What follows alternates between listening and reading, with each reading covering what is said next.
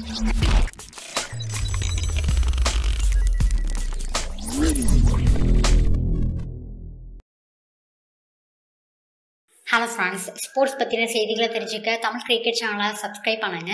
இந்திய அணிக்கும் நியூசிலாந்து அணிக்கும் இடையே ஒன் டே மேட்ச் ஆனது நடந்துட்டுருக்கு. இதில் இந்திய அணியானது சீரீஸை வின் பண்ணிட்டாங்க. ஆனால் நாலாவது ஒன் டே மேட்ச்சில் படுதோல்வியை கண்டிருப்பாங்க. இது குறித்து பல முன்னாள் வீரர்களும் இந்திய அணியில் வந்து பேட்டிங் யாருமே ஒழுங்காக விளையாடலை அப்படின்னு அவங்களோட கருத்துக்களை தெரிவிச்சிருப்பாங்க. ஸோ அஞ்சாவது ஒரு நாள் போட்டியில் இந்திய அணியில் களமிறங்க போகிற வீரர்களை சில அதிரடியான மாற்றங்களை வந்து கொண்டு வந்திருக்காங்களாம்.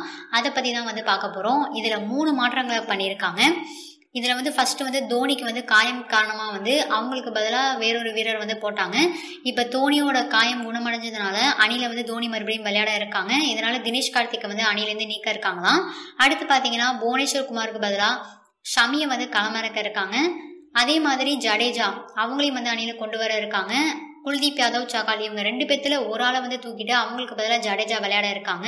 ஏன்னா ஜடேஜா வந்து ஒரு ஆல்ரவுண்டர் பிளேயரும் கூட பேட்டிங் அண்ட் பவுலிங் ரெண்டுத்துலையுமே வந்து கை கொடுப்பாங்க. அதனால அவங்களையும் வந்து எடுக்க இருக்காங்களாம். ஸோ அஞ்சாவது ஒரு நாள் போட்டியில் இந்திய அணிலேருந்து களமிறங்க போகிற வீரர்கள் அப்படின்னு பார்த்தோம்னா ரோஹித் சர்மா தவான் சுக்மன் கில் தோனி அம்பத்தி ராய்டு கேதர் ஜாதவ் ஹர்திக் பாண்டியா ஜடேஜா குல்தீப் யாதவ் அல்நாத் சகால் ஷமி கலீல் அகமத் இந்த வீரர்கள்லாம் வந்து விளையாடுறதுக்கு அதிக வாய்ப்புகள் இருக்கிறதா வந்து தெரிவிச்சிருக்காங்க. இந்த வீடியோ உங்களுக்கு பிடிச்சிருந்தா லைக் பண்ணுங்க ஷேர் பண்ணுங்க.